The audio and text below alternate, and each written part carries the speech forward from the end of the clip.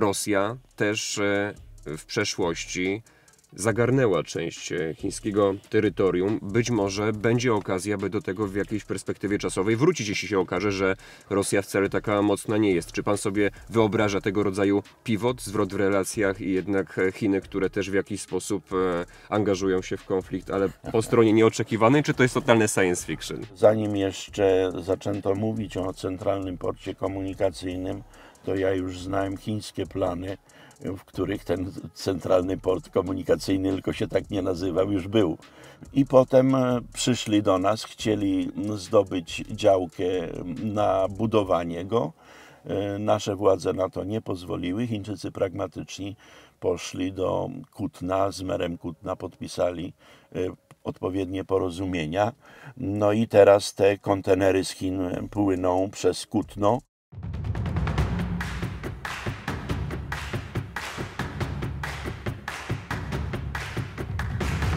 Duży w maluchu. Filip Nowobilski zaprasza na program z ciekawymi ludźmi. Żyjemy w naprawdę niespokojnych czasach. Za naszą wschodnią granicą toczy się otwarta wojna między Ukrainą a Rosją. Z kolei na Pacyfiku w ostatnich dniach ponownie intensyfikują się tarcia między Chinami a Tajwanem, wspieranym m.in. przez USA. W związku z tym rozmowa z cenionym sinologiem profesorem Bogdanem Góralczykiem powinna zyskać Waszą szczególną uwagę. Na zainteresowanie zasługuje także oferta, którą dla moich widzów przygotowała platforma Cambly, służąca do nauki języka angielskiego. Z kodem G40DUZY otrzymacie aż 40% zniżki na roczny plan grupowy umożliwiający naukę poprzez konwersację z native speakerem. Zacząć możecie już od 115 zł miesięcznie za godzinną lekcję tygodniowo. Cambly od stycznia 2023 roku wprowadza możliwość brania udziału w lekcjach grupowych. Zajęcia odbywają się co godzinę przez całą dobę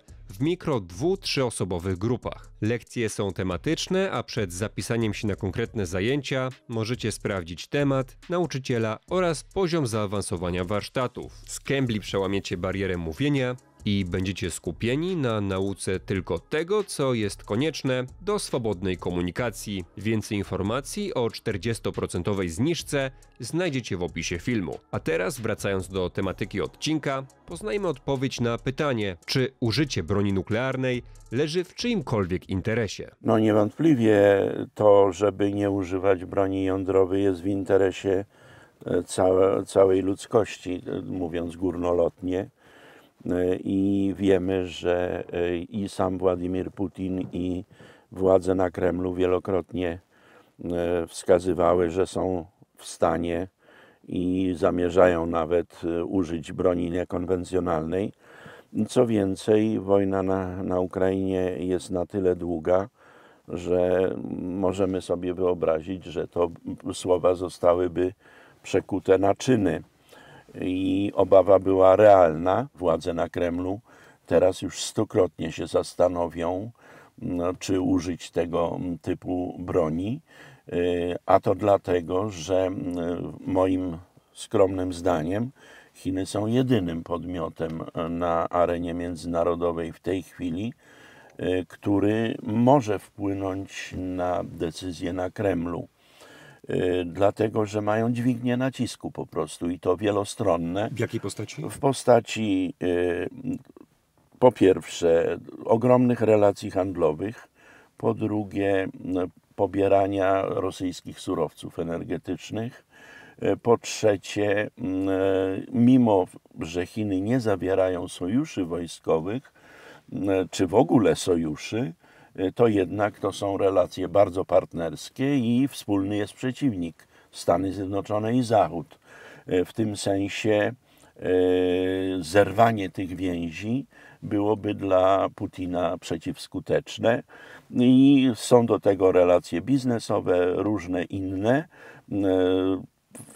W efekcie Chiny, gdyby chciały, na razie nie chcą, bo to nie jest w ich interesie, mogłyby wejść nawet bardzo mm, silnie jako mediator, rozjemca, jeszcze silniej niż kiedykolwiek to zrobiła Turcja, która kilkakrotnie już grała tę rolę Recep Tayyip Erdoğan. E, W tym sensie e, to jeszcze jest przed nami, no bo rozmawiamy niestety ciągle podczas wojny. Wojny, która z pańskiej perspektywy deeskaluje czy eskaluje? Niestety eskaluje, no wyeskalowała nawet na terytorium Polski. Nawet jeżeli to jest jakiś odprysk, ale jednak pokazuje, że jak blisko jesteśmy, e, jak to jest ważne. No i na razie mamy sytuację taką, że już blisko 300 dni tej wojny, blisko będzie rok, e, a obydwie strony, które bezpośrednio ze sobą walczą, nie wyrażają woli m, po, rozmów pokojowych. Jest to dialog głuchych. M, Nie ma na razie e, woli e, rozmów pokojowych. Jest wola walki, e, niestety. I końca tego na razie nie widać. Jeszcze jest bardzo interesująca kwestia w kontekście relacji rosyjsko-chińskich. Przecież ten konflikt na Ukrainie mm, wydarzył się przez, powiedzmy, też jakieś mm, oczekiwania terytorialne, tak bym to określił, a Rosja też e, w przeszłości zagarnęła część e, chińskiego terytorium. Być może będzie okazja, by do tego w jakiejś perspektywie czasowej wrócić, jeśli się okaże, że Rosja wcale taka mocna nie jest. Czy pan sobie wyobraża tego rodzaju pivot, zwrot w relacjach i jednak e, Chiny, które też w jakiś sposób e, angażują się w konflikt, ale po stronie nieoczekiwanej, czy to jest totalne science fiction? Ja wie pan, długo żyję, więc sobie wiele rzeczy wyobrażam, bo wiele rzeczy się zdarzyło, których sobie nie wyobrażałem. E, chociażby ta wojna na Ukrainie, że będzie tak wielkoskalowa i tak brutalna.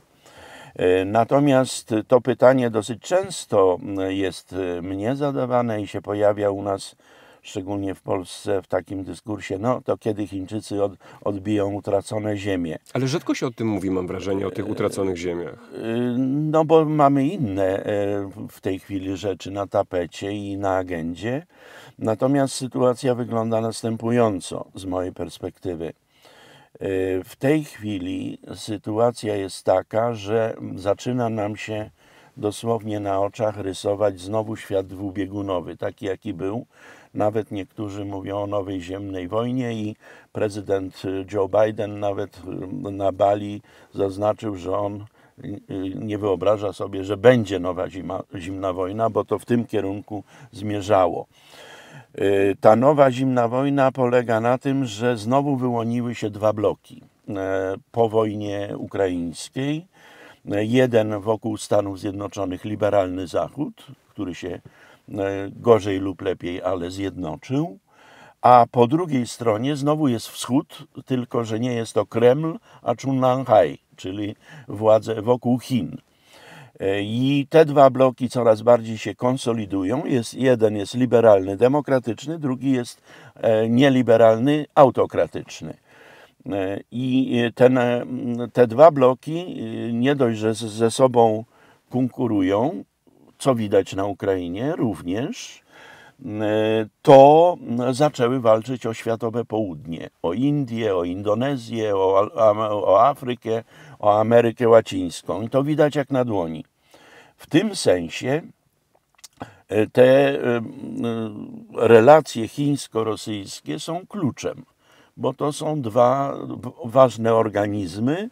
E, Indie jednak są swing state, państwem takim wahadłowym, kołyszącym się i grającym swoje.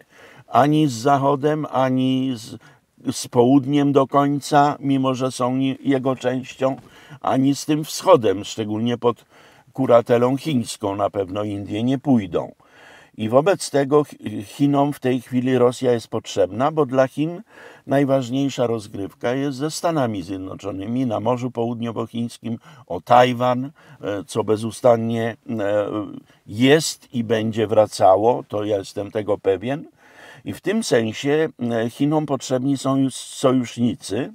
Chiny jako kraj nie zawierają sojuszy, mają jednego tylko papierowego sojusznika, to jest Korea Północna i mają jednego realnego sojusznika, co od dziesięcioleci pokazują sondaże opinii publicznej, czyli Pakistan, bo ze względu na Indię.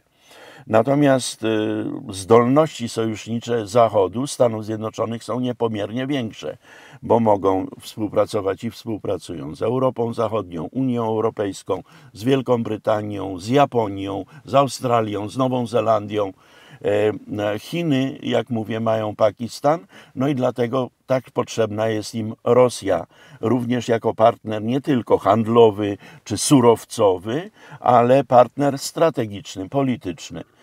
I dopóki ta e, kwestia jest w grze, że Tajwan, Morze Południowochińskie i rywalizacja ze Stanami Zjednoczonymi, to trzeba wszystko, co było, odłożyć na półki. My o tym pamiętamy, mówią Chińczycy. Mają swoje mapy, ile to im carska Rosja e, zagarnęła ziem, ale nie wrócą z tym w 100% w najbliższym czasie. Kiedyś może taki czas przyjść, ale nie jest to ta chwila. No bo często się z tymi sąsiadami w jednak jakieś spory terytorialne wpada, a trzeba pamiętać, że Rosja z Chinami częściowo graniczy, przedziela je tam Mongolia No, powiedzmy. częściowo.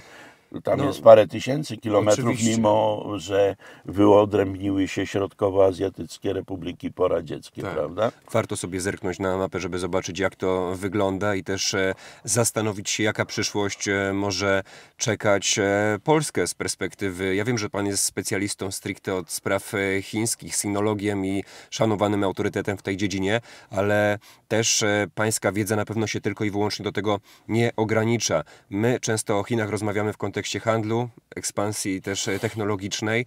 Czy potrafi pan sobie wyobrazić sytuację, w której Polska jest jakimś międzynarodowym hubem i w ten sposób też e, swoich sąsiadów zachodnich w ten sposób niepokoi? E, Taką właśnie Polska- mocarstwową ambicją, że Polska tak co powiem. chwilę u nas pobrzękuje szabelką, że chcemy być wielkim centrum, hubem. No bo I przepraszam, czym tam jeszcze? Uzupełnię jeszcze pytanie o centralny port komunikacyjny, o którym e, mówiło się, że też będzie takim e, hubem dla No, na, Azji. na razie to jest pole i sporo baranów, z tego co słyszę, ale może coś się zmieni. Yy, no, nie żartując, bo sytuacja jest poważna, ja chciałbym podkreślić Państwu, naszym słuchaczom i odbiorcom, że zanim jeszcze zaczęto mówić o centralnym porcie komunikacyjnym, to ja już znałem chińskie plany, w których ten centralny port komunikacyjny, tylko się tak nie nazywał, już był. No, Po prostu Chińczykom, po Chińczykom wyszło z mapy. My mamy takie tradycyjne przekleństwo między Rosją a Niemcami, bo raz z jednej popysku, raz z drugiej popysku, a czasami Ribbentrop, Mołotow e, z obydwu stron.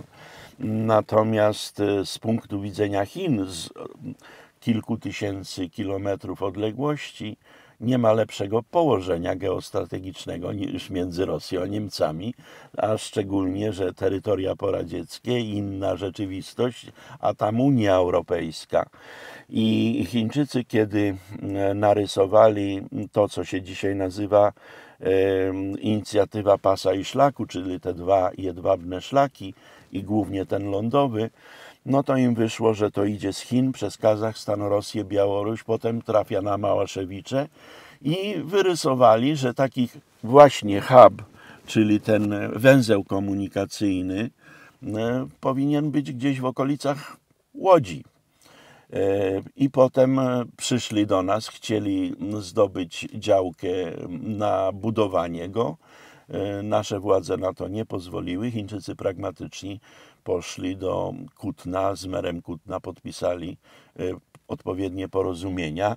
No i teraz te kontenery z Chin płyną przez Kutno, e, czyli e, to jest pokazane, że z punktu widzenia geostrategi- geostrategicznego to Polska jest państwem środka w Europie Środkowej. Natomiast czy wykorzystujemy swoje atuty? No to na razie widzimy, że raczej mamy konflikty z naszymi sąsiadami bezpośrednimi i na wschodzie i na zachodzie, aniżeli wykorzystujemy te, ten swój potencjał e, środkowego e, czy centralnego położenia. Jasne. Bardzo dużo się mówi o tym, co się może wydarzyć na Pacyfiku. Tajwan e, zyskał takie drugie życie medialne. E, już ten konflikt na Ukrainie oczywiście funkcjonuje w mediach od dłuższego czasu, ale Tajwan gdzieś na tym drugim miejscu i w, na takiej ławce rezerwowych tematów takich, które w każdej chwili mogą do mainstreamu trafić, też funkcjonuje. I w związku z tym chciałbym zapytać, jakie zdolności do zawierania sojuszy mają Chiny, a jakie Stany Zjednoczone w kontekście właśnie Pacyfiku? No, wydaje mi się, że już nawet na ten temat mówiłem, że Stany Zjednoczone mają ogromne zdolności sojusznicze, Chiny znacznie mniejsze. Ale w kontekście tego konkretnego terytorium. Ale w konkretnie w kwestii Tajwanu to inaczej to trzeba rysować. Mianowicie mm, na tym 20 zjeździe w październiku Komunistycznej Partii Xi Jinping dostał trzeci trzecie życie, czy trzecią kadencję, a prawdopodobnie rządy dożywotnie i on dostał mandat na zrealizowanie swoich e, wytyczonych już i narysowanych nawet na papierze celów. E, celem głównym, docelowym, takim ostatecznym jest do 2049 roku na stulecie Chińskiej Republiki Ludowej z utworzenie z Chin znowu kwitnącej cywilizacji, czyli ma być wielki renesans chińskiego narodu. No i jest y, więcej niż oczywiste dla każdego Chińczyka i każdej osoby zajmującej się Chinami, y, że nie będzie żadnego renesansu, jeśli po obu stronach cieśniny tajwańskiej są organizmy z Chinami w nazwie, bo po jednej stronie są jest HRL, czyli Chiny komunistyczne, ludowe, lądowe czy kontynentalne, jak je zwał, a po drugiej stronie jest Republika Chińska na Tajwanie, bo taka jest oficjalna nazwa, to jest przedłużenie e, Chin republikańskich, jakie istniały po upadku cesarstwa do 1949 roku, a potem reżim Chiang Kai-sheka i dwa miliony jego e, wyznawców trafiły na Tajwan. Zresztą e, najpierw była krwawa łaźnia, żeby teren przygotować. I teraz Xi Jinping postawił sobie za cel zjednoczenie wszystkich ziem chińskich. Y, Putin postawił sobie za cel zjednoczenie wszystkich ziem ruskich i widzimy, co z tego wychodzi. Y, czy Xi Jinping będzie skuteczniejszy? Nie wiemy. Y, I wydaje się, że Putin mu po pierwsze skomplikował sytuację, bo niektórzy mówią: O, odwrócił uwagę, to teraz Chińczycy szybko zajmą Tajwan. Tak mogłoby się, tak mogłoby tak się wydarzyć. Ale okazało się, że to bardzo skomplikowało i wściekło Chińczyków do tego stopnia, że jak były mm, niedawno 70. urodziny Władimira Putina, e, to Xi Jinping nie wysłał mu nawet depeszy gratulacyjnej. E, to jest znamienne w chińskiej cywilizacji. Natomiast e, Tajwan skomplikował się jeszcze z dwóch co najmniej względów podstawowych, mianowicie takich, że on istnieje jako samodzielny byt od 1949 roku, a wcześniej przez 50 lat był e, pod okupacją japońską, a wcześniej też nie do końca był chiński, chociaż zasiedlany w dużej mierze przez Chińczyków. Czyli to nie było terytorium nigdy zarządzane przez komunistyczną partię, no i specyficzne dla organizmu chińskiego. E, w tym sensie ten Tajwan przez e, no, ponad 70 lat uzyskał własną tożsamość. Coraz więcej ludzi na wyspie, tam jest ich prawie 24 miliony obywateli, e, identyfikuje się jako Tajwańczycy albo Tajwańczycy i Chińczycy, ale nie identyfikuje się z mainlandem, z Chinami kontynentalnymi. I to jest niewątpliwie rzecz narastająca do tego stopnia, że w tej chwili w zasadzie jednocyfrowa tylko e, jest poparcie, że jestem Chińczykiem i jestem za zjednoczeniem z Chinami. I to jest pierwsza rzecz. Druga, że pamiętamy do, e, do pandemii były bardzo głośne i widoczne i bardzo nagłośnione u nas demonstracje w Hongkongu. E, Hongkong protestował pierwotnie, i już nikt tego nie pamięta, przeciwko ekstradycji dwóch swoich obywateli do HRL, żeby tam poddać ich y, procesowi karnemu. No i te demonstracje zwróciły uwagę całego świata, ale przyszła pandemia, y, odwróciła naszą uwagę, a władze HRL w Pekinie zrobiły swoje i w zasadzie teraz 7,5 miliona y, obywateli Hongkongu jest poddane jurysdykcji HRL. Nie dwóch obywateli, tylko wszyscy. No i to się z punktu widzenia Pekinu okazało bardzo skuteczne, z punktu widzenia mieszkańców Hongkongu raczej opłakane, a z punktu widzenia Tajwanu e, czerwona płachta. Aha, jeżeli z Hongkongiem to zrobiono, no to z nami mogą zrobić to samo. Wobec tego e, narasta opór, żeby się absolutnie formule poprzednio zastosowanej jeden kraj, dwa systemy nie podporządkować. E, no i następne są jeszcze trzy rzeczy, ale innej, innej rangi, mianowicie takie, że po pierwsze e, Chiny uważają Tajwan za swoją sprawę e, wewnętrzną. Już w, na już w szkole podstawowej, jeśli nie w przedszkolu, dzieci są uczone jednej frazy. Taiwan Czeszy Woman de Ipufen, czyli jest to, to integralna część Chin. I to się dzieciom wtłacza. Każdy obywatel HRL jest przekonany, że Tajwan to jest super chińskie e, e, ziemie, tylko że zbuntowane i niepodporządkowane do końca. E, natomiast problem polega na tym, że Amerykanie już w czasie wojny koreańskiej, generał Douglas MacArthur określił Tajwan jako amerykański niezatapialny lotniskowiec na zachodnim Pacyfiku. No i tu jest ambaraz, bo dwoje nie chce naraz. Więc y, jest zderzenie chińsko-amerykańskie i ono było widoczne i podczas y, tej rozmowy Xi Jinping-Biden, pierwszej fizycznej rozmowy obu panów, bo przez pandemię rozmawiali pięciokrotnie wcześniej telefonicznie czy przez wideo łącza. E, ta kwestia, e, tutaj wyraźnie widać, że jest clash, że jest zderzenie. E, natomiast tam jest jeszcze jeden element, jak wspomniałem, Tajwan po Shimonoseki, po wojnie japońsko-chińskiej, w której Chińczycy dostali łupnia w 1895, e, trafił pod jurysdykcję japońską e, Japonia była, kolonizowała Tajwan przez 50 lat do końca II wojny światowej i to robiła tak, żeby to był taki przykładowa kolonizacja, czyli bardzo modernizowała, bardzo inwestowała i dobrze jest wspominana. Z reguły kolonizatorzy są źle wspominani, ale na Tajwanie Japonia i jej kolonizacja wspominane są dobrze. No i Japonia jest tym podmiotem, na świecie, który najlepiej rozumie, co by oznaczało zjednoczenie Chin.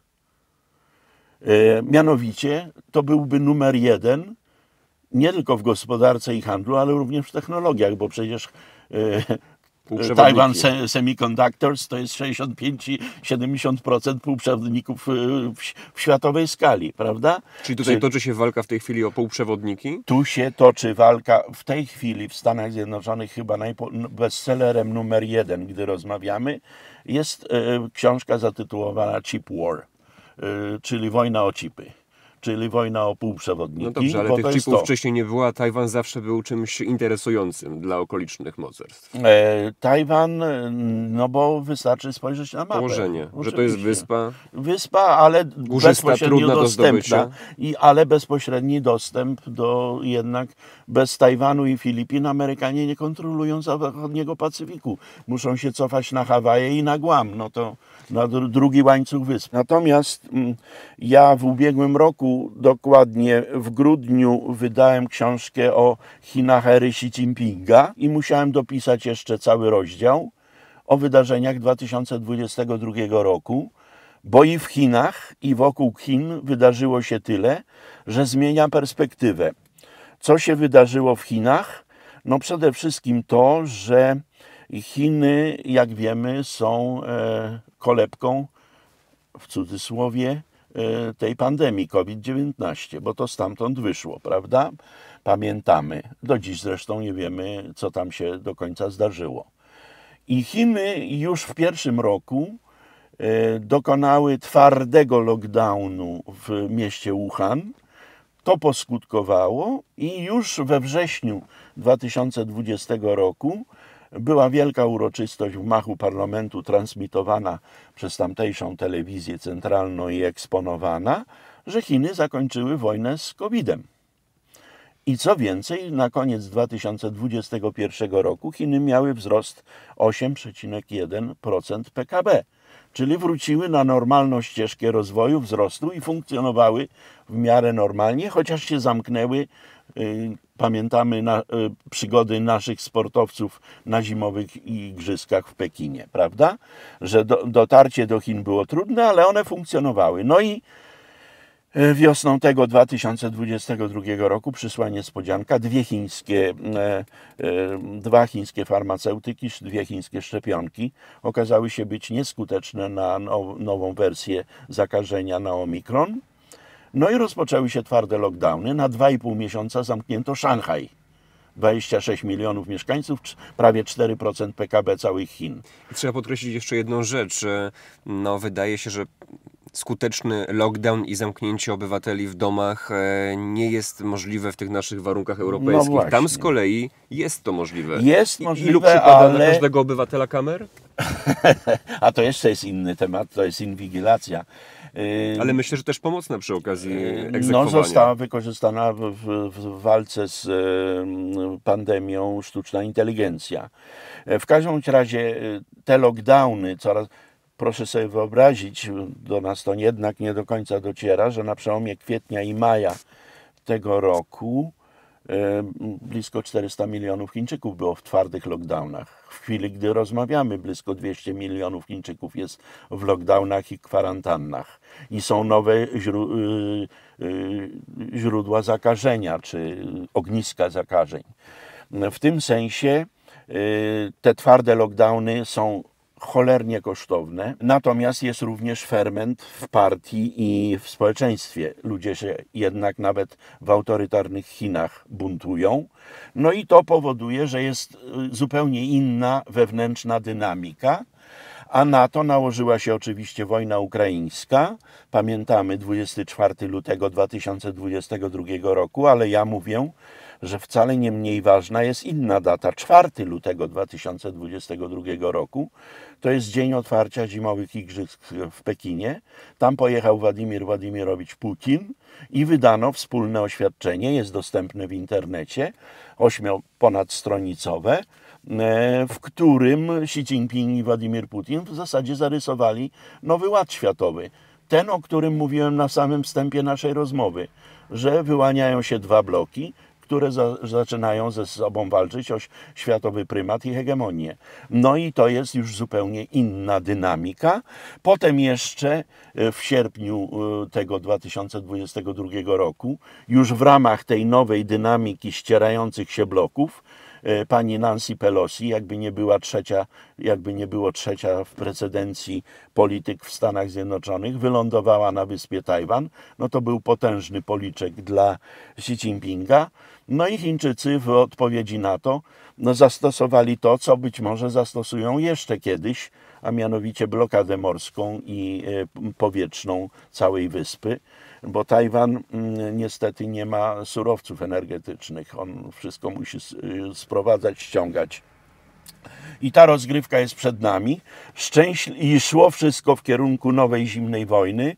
E, Szczęśliwie mm, e, został taki rozejm zawarty na, na wyspie Bali, kiedy doszło do spotkania Joe Biden-Xi Jinping, ale ja nie mam żadnych złudzeń i każdy dobry obserwator Chin czy o, sceny międzynarodowej wie, że to są zderzenia strukturalne, więc długofalowe i zasadnicze.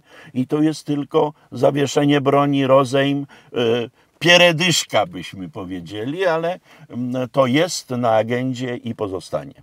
Pan ostatnimi czasy w e, mediach, przepraszam, nie będę w stanie zacytować e, konkretnego wywiadu, ale użył e, zdania pod tytułem, że Chiny to cywilizacja ubrana w szaty państwa.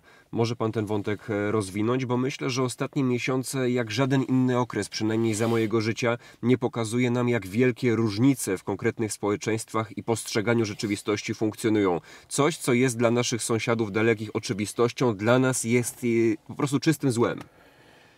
No właśnie, my e, mamy taką tendencję do traktowania Chin jako jednego z kolejnych państw na świecie.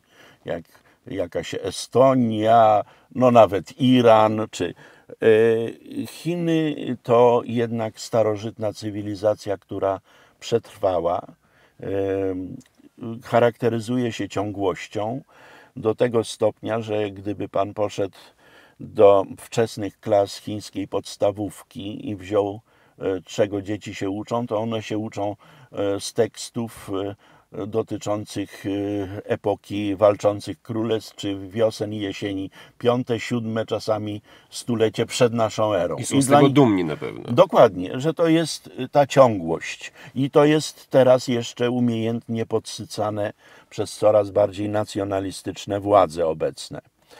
Czyli Chiny to nie jest jedno z kolejnych państw, tylko to jest właśnie cywilizacja, i to cywilizacja, która jest w fazie odrodzenia. Ja w Chinach byłem po raz pierwszy w połowie lat 70. ubiegłego wieku, więc jestem, y, to jest moje osobiste doświadczenie, jak one wyszły z poziomu państw środkowoafrykańskich do, do, do pozycji numer dwa na globie, której dotychczasowy hegemon Stany Zjednoczone poważnie się obawia i słusznie. E, w tym sensie mamy do czynienia z odrodzeniem starożytnej cywilizacji, e, która na dodatek jest państwem komunistycznym, a tam najważniejsze, u nas się mówi rynek bez granic, a tam najważniejsze zawsze było, a szczególnie teraz jest państwo. No i jest jeszcze ta komunistyczna partia, którą my uważamy, że jest jedną z kolejnych partii, jakie my znamy. Nie, bo to jest 96 milionów ludzi, to to jest po prostu, to są nowi mandaryni, to jest chińska elita władzy. Wszystko, co się w tej partii dzieje, będzie określało przyszłość e, tego e, państwa, tego organizmu. I w tym sensie nie można stosować zachodnich miar e, do tego, co się w Chinach dzieje. A my za wszelką cenę chcemy, żeby oni byli tacy jak my a oni za wszelką cenę nie chcą być tacy jak to wie my. pan, to jest może e, błąd w edukacji też e, na tym etapie wczesnoszkolnym, że za rzadko się mówi o tych różnicach i później w dorosłym życiu wszyscy się dziwimy. I słuszna uwaga. Ja, kiedy się uczyłem chińskiego powiedzmy pół wieku temu, to się ludzie na mój wiek, na mój widok w głowę pukali, co ja nie mam co robić, bo wtedy to była czysta egzotyka. Po co się tym zajmować gdzieś daleko od nas, komunistyczna satrapia, biedna jak jasna cholera. Pamiętamy tanie chińskie produkty, które Później przyszły rynek, już tak. tań, tanie chińskie produkty na ówczesny, na ówczesny stadion dziesięciolecia. Natomiast y, dzisiaj nie interesować się Chinami, to wykazać y, swoją y, po prostu brak wiedzy czy brak rozeznania. Trzeba po prostu o tych Chinach i szerzej powiem, o Azji Wschodniej trzeba powiedzieć więcej, ponieważ ja swoim studentom e, wtłaczam do głów, że mamy do czynienia z czymś, co się nazywa w literaturze fachowej e, power shift, przesunięciem ośrodka siły z Atlantyku na Pacyfik. Proszę sobie przypomnieć, że już administracja e, Baracka Obamy mówiła o piwocie do Azji, czyli zwróceniu się, przeosiowaniu, przejściu z Atlantyku na Pacyfik no bo tam są nie tylko Chiny, tam jest Japonia, tam jest Tajwan, tam jest Korea Południowa, tam są półprzewodniki, tam są wysokie technologie. To już nie tylko handel i gospodarka, ale i najwyższe technologie. Proszę, rozejrzyjcie się Państwo po swoich domostwach i sprzęcie, który używacie. Pewnie no. połowa albo i więcej z nich będzie właśnie z tamtego regionu. Jeszcze przed nagraniem mówiłem panu, że materiał będziemy realizowali za Proszę nie reklamować nie będziemy, nie będziemy reklamowali oczywiście, tym bardziej, że nic z tego nie mamy, ale faktycznie no mimochodem okazało się, że faktycznie sporo chińskiego sprzętu w tym no samochodzie no więc mamy. właśnie i to jest e, tektoniczna zmiana. Ona nie jest, ona nie brzmi dobrze, bo ona spycha Europę, Unię Europejską na peryferię Eurazji, e, ale taka jest prawda, że od czasu administracji Donalda Trumpa mamy power politics, mamy znowu wielkomocarstwową grę. E, niekoniecznie jest to koncert mocarstw, tylko trochę kakofonia mocarstw w tej chwili. No i trzeba się interesować i Indiami bardziej, i Chinami, i Japonią by wypadało, a z Korei Południowej ile Polska nagle zaczyna sprowadzać sprzętu wojskowego, skąd to się wzięło? A Korea Południowa okazuje się, że obok Estonii jest najbardziej osadzona w wielkopasmowym y, internecie. Kiedy Chiny mogą stać się największą gospodarką świata i tak realnie pod tym względem e, zaszkodzić także Stanom? E, no, Stany by się tak nie denerwowały i nie były takie wściekłe, gdyby już nie szkodziły. E, I szkodzą co najwięcej, zaczynają wyprzedzać Stany w niektórych dziedzinach, w niektórych branżach wysokich technologii i również w kosmosie. E, Chiny mają jedną przewagę konkurencyjną nad Stanami i Zachodem, która nazywa się Ziemie Rzadkie. To jest te 18 pierwiastków, bez których nie ma postępu naukowo-technicznego. I one do niedawna miały e, monopol na wydobycie i eksport, prawie 90%. Teraz to już jest mniej 70%, ale Chiny idą w kosmos za ziemiami rzadkimi, merkantylnie. No i to jest potężne wyzwanie, bo Chiny, Xi Jinping ogłasza nie tylko ten wielki renesans, ale zapowiada, że do 2035 roku Chiny mają być społeczeństwem innowacyjnym, a więc opartym już na wysokich technologiach i klasie średniej. I teraz pan pyta e, w sensie, W sensie gospodarczym. Tak, ale mam na myśli chociażby też to, co usłyszeliśmy na tym e, 20 zjeździe w e, październiku 2022 roku, bo tam też pewnie jakieś plany mocarstwowe mogły nadać e, Nie, to Nie? zo- zostały ukonstytuowane rzeczy zapowiedziane wcześniej. Pod tym względem zjazd nie był przełomem, raczej pod względem charakteru władzy, bo powrócił cesarz i jedynowładztwo. Tutaj jest zmiana. Chiny mm, przez wieki były największym organizmem gospodarczym świata aż do wojen napoleońskich, do tego stopnia, że e, w latach 1820 przed e, niesławnymi w Chinach wojnami opiumowymi Chiny dawały 1 trzecią światowego PKB, 30 prawie 3%. Natomiast kiedy Chiny e, przeszły przez e, to, co oni nazywają stulecie narodowego poniżenia, czyli były powstanie tajpingów, bokserów, rozpadło się cesarstwo, były wojny soldatesek, ciumfa, e, były dwie agresje japońskie, no i zawsze krwawa wojna domowa między Kuomintangiem, partią narodową, a komunistyczną partią, to kiedy e, Mao Tse-tung proklamował w 1949 roku HRL, to ona dawała 3,5% światowego PKB, czyli dziesięciokrotnie mniej. A na koniec epoki Mao Chiny dawały niespe... a 4-4,5%. Dzisiaj, gdy rozmawiamy, Chiny dają nominalnie 18% i za chwilę mogą wyprzedzić Unię Europejską po Brexicie bez Wielkiej Brytanii. Natomiast Stany Zjednoczone dają w tej chwili 22-23% w sensie nominalnym i mają jedną z kolei Amerykanie przewagę konkur- konkurencyjną, o której się u nas nie mówi i nie wie, a szkoda. Mianowicie w Ame- Ameryka jest w tej chwili eksporterem surowców energetycznych, bo dokonała się rewolucja łupkowa. I oni ch- chcą i ró- również do naszego gazoportu w Świnoujściu dostarczać skroplony gaz. E, W tym sensie Stany Zjednoczone nie są skazane ani na Rosję, ani na Bliski Wschód, bo są samowystarczalne, a co więcej są eksporterem. I wobec tego Chinom będzie trudniej takiego partnera dogonić, czy konkurenta. Natomiast jeśli chodzi o parytet siły nabywczej, e, inny sposób liczenia e, gospodarki. Ja zresztą raczej się ku niemu przychylam, że on jest bardziej adekwatny do rzeczywistej miary. To Chiny już od 2015 roku są największym organizmem i Stany Zjednoczone coraz bardziej od nich odstają. No i gdyby w sposób pokojowy udało się połączyć organizm chiński, ląd, lądowy z Tajwanem, no to automatem mamy numer jeden również w dziedzinie wysokich technologii.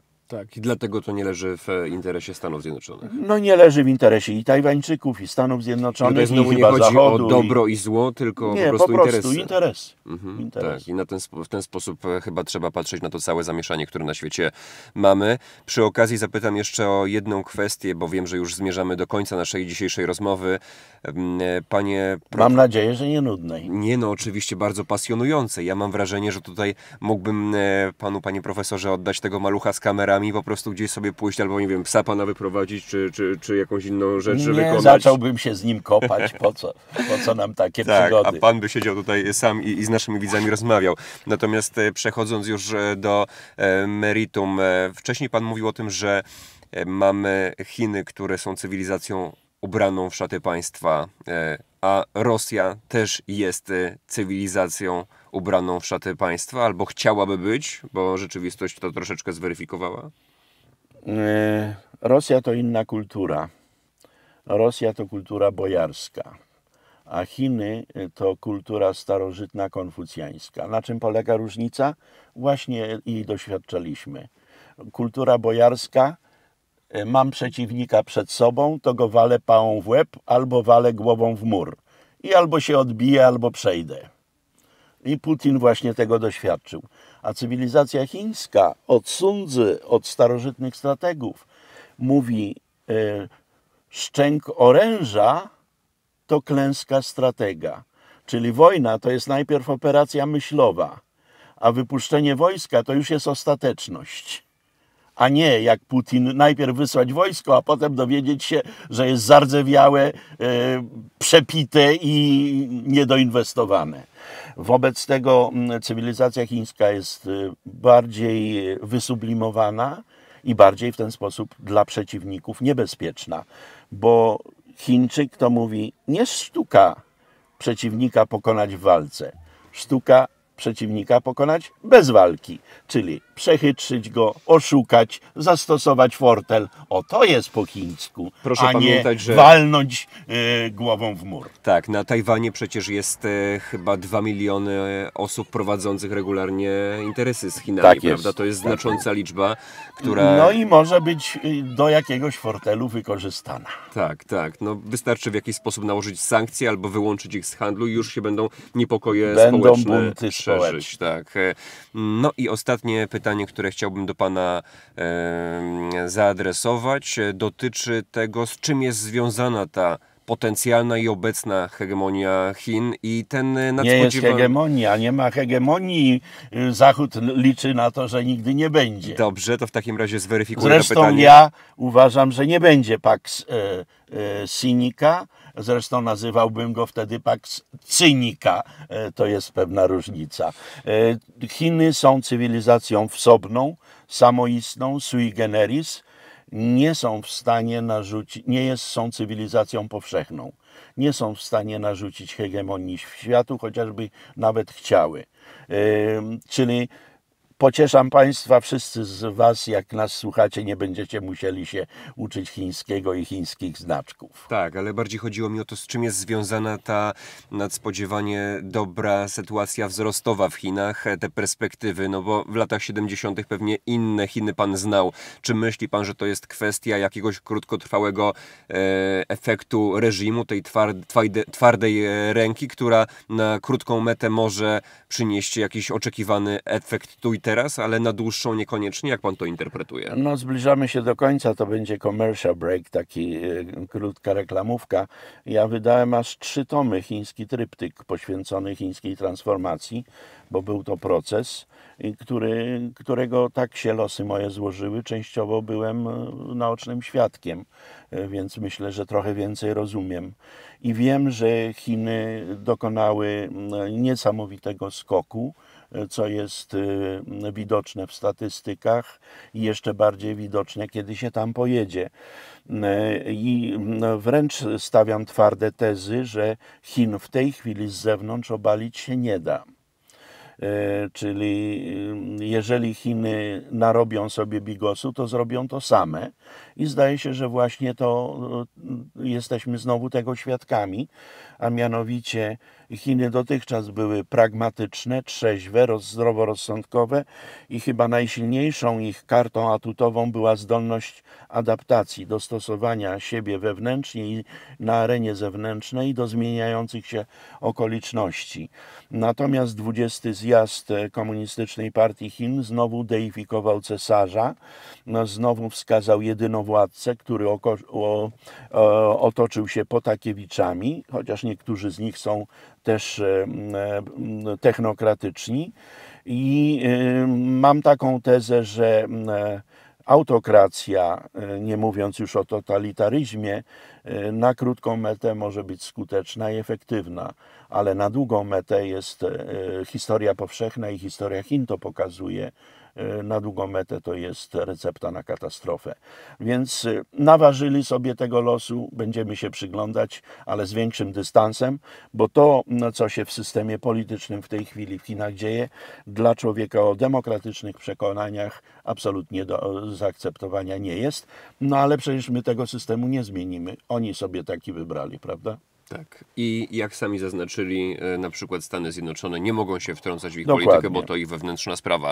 Panie profesorze, bardzo dziękuję za spotkanie z e, bardzo dużą dawką wiedzy, bo to nie tylko i wyłącznie szansa na to, by usłyszeć, ale wyciągnąć wnioski, które możemy zastosować w naszych polskich realiach i docenić też sytuację i położenie, w którym się znajdujemy, bo Z czasami... wyjątkiem autokracji i totalitaryzmu. Różnica między autokracją a totalitaryzmem, jak już się pojawia strach, obawiam się, co moi e, przywódcy zrobią, no to znaczy, że już mamy totalitaryzm, a nie tylko autokrację. Tak, ale z tej rozmowy warto wyciągnąć chociażby taki wniosek, że położenie Polski nie jest tylko i wyłącznie minusem, ale ma także swoje plusy. Duży atut plus dodatni, używając klasycznego języka. Tak jest. W opisie filmu z kolei zlokalizowane są linki do książek mojego dzisiejszego gościa, więc jeśli we własnym zakresie będziecie chcieli zgłębić wiedzę, to jak najbardziej serdecznie Was zapraszam, żebyście właśnie we wspomniany opis sięgnęli. Panie profesorze, nie zatrzymuję i bardzo dziękuję. Dziękuję bardzo, do usłyszenia, do zobaczenia. Halo, halo. A czy zasubskrybowałeś już kanał Filipa? Jeśli nie, to na co czekasz? I pamiętaj, nowy odcinek w środę o 18:00. Czytał Tomasz Knapik.